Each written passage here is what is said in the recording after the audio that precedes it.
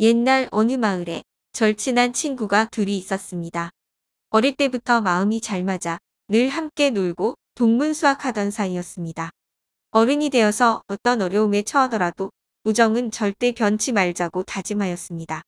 이들은 나이가 듦에 따라 각기 떨어져 자기 재간껏 살아갔습니다. 그 후 13년 정도 지나자 한 친구가 이런 생각을 하게 되었습니다. 우정은 변치 말자고 했었는데 이렇게 적조하였으니 어찌 친구라 할 수 있겠나.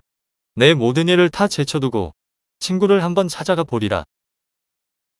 이렇게 마음을 먹고 친구를 찾아갔습니다. 친구는 무척 기뻐하며 어서 들어오게나 하며 아내를 소개하고 밥상을 차려오라고 하였습니다. 아내는 나와서 한숨을 쉬었습니다. 지금 쌀이 떨어진 지가 오래되어서 며칠째 끼니를 굶고 있었습니다.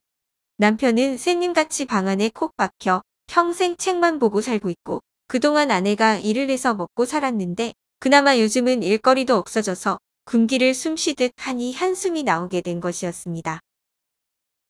남편이 나오면 어떻게 해야 될지 상의라도 하련만 오랜만에 만난 친구와 정에 취해서 나올 생각을 안 하니 걱정이 태산이었습니다. 이러던 차에 안 되겠다 싶어 이웃집에 사정을 해서 쌀을 조금 구워다가 밥을 앉혀놓고 있는데 방에서 누가 나오는 것 같았습니다. 뜨락을 보니까 남편의 신발이 없었습니다. 그래서 뒷간에 뒤따라가 문 밖에서 푸념을 하였습니다. 여보, 손님이 오신 것은 반가운 일이나 지금 우리 형편에 어쩌란 말입니까? 여러 날 붙들어 두시렵니까? 그렇게 되면 큰일 납니다. 집에 콩부스러기도 없습니다. 아내는 불안해서 듣고 있는 사람에게 한마디를 더하였습니다. 여보, 미안해요. 저도 옛 친구를 오랜만에 만는 당신의 심정을 안답니다. 당신이 자주 나한테 좋은 친구라고 자랑하던 분이 아닙니까? 그렇지만 우리 형편이 워낙 힘드니 이런 말이 나왔네요. 행여나 친구에게는 언짢은 기색은 보이지 마세요. 뭐 부잣집에 가서 내년 일해준다고 하고 미리 쌀 좀 구워오지요. 이러면서 아내는 부엌으로 갔습니다. 시간이 지나 이야기를 하던 친구가 여보게, 내가 대접을 잘 받았으니 나 이제 가려네. 아니, 날이 이렇게 어두워졌는데 가다니 자고 가야지. 내가 어찌 이런 어두운 때에 자네를 보내겠는가. 그건 안 되지. 아니야, 이제 생각이 났는데 집에 가서 해야 할 일이 있었어. 그건 그렇고 자네 참 무섭게 가난하게 사는 것 같네. 내가 자네하고 헤어진 후 무엇을 했는가 하니 그림을 배웠네. 그림 하나는 남들이 잘 그린다고 하더라고. 나도 자부하지만 말이네.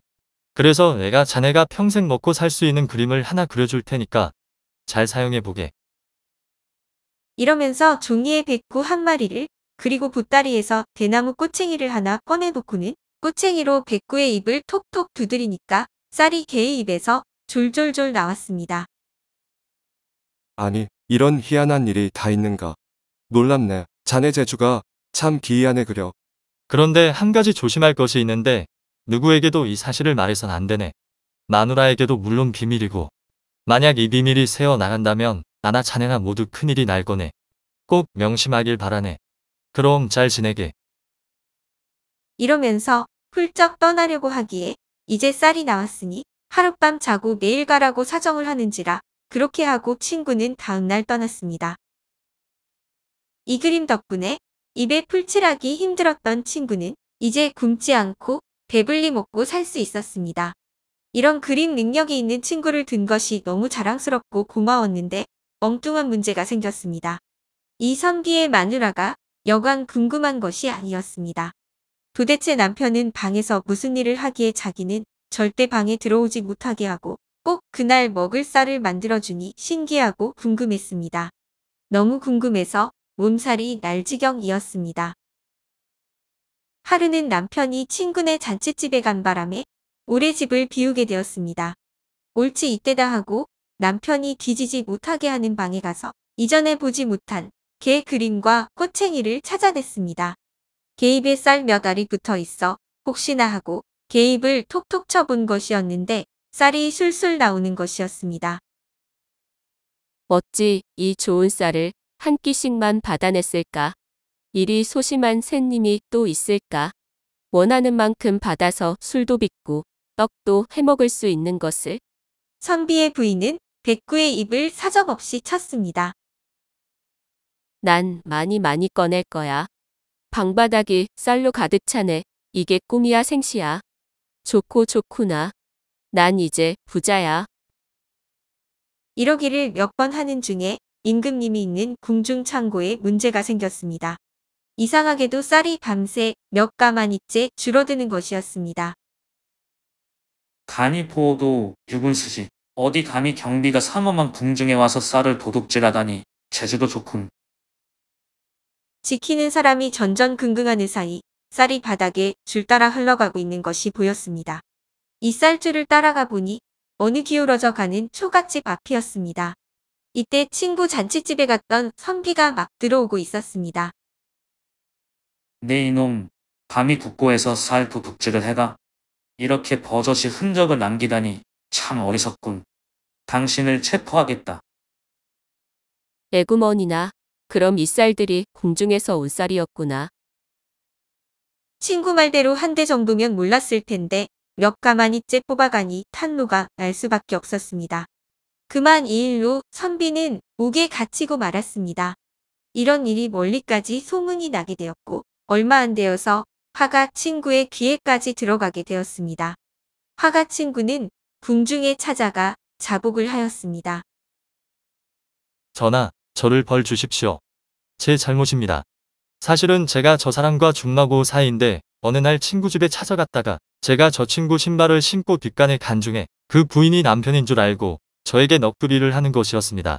하도 가난하고 딱해서 제가 그림을 그려주어 궁중 쌀을 먹게 한 것입니다. 그런데 한 바가지씩만 가져다 먹으라고 했는데 어찌 섬째로 갖다가 먹었는지 모르겠습니다. 나라님이 이 화가의 능력을 기이하게 여기시고 또 내버려 두면 나라의 화근이 될 것 같아서 사형을 선고하였습니다. 너는 이제 그림 일로 죽는데 마지막으로 소원이 있느냐? 그러면 마지막 작품으로 전하께 그림 하나를 그려 올리고 죽겠습니다. 하더니 첩첩바위산에 낭떠러지 길이 있는 그림을 그렸습니다. 전하, 이 산에 오르십시오. 공기가 아주 좋습니다. 아니, 나보고 이 위험한 낭떠러지에 오르란 말이냐? 죽으란 말이냐? 나는 못 가겠으니 너나 올라가 보거라. 그럼 저는 산에 오르겠습니다. 안녕히 계십시오. 저 불쌍한 친구는 살려주시고 먹여주시옵소서. 하며 화가가 낭떠러지에 오르자 어디서 확 한 마리가 날아 화가를 태우고 유유히 날아가 버렸습니다. 화가는 기이한 그림 덕분에 멀리 멀리 도망칠 수 있었답니다.